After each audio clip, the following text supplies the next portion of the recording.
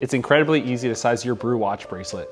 Let me show you how. On the bracelet, you'll notice has small micro adjustments right inside the buckle, these four little holes. You're gonna need a tool for this, and in this case, it's a small pin tool to accurately and safely move that spring bar. And what I'm doing right now is just compressing the spring bar by pressing down, compress the spring bar, and then move it up a new stage. And that's just making it one stage tighter or more comfortable for the wearer, making sure that it's safely and securely clicked into place. You now have it one stage closer within the buckle. Safe, secure, and fitted to your wrist.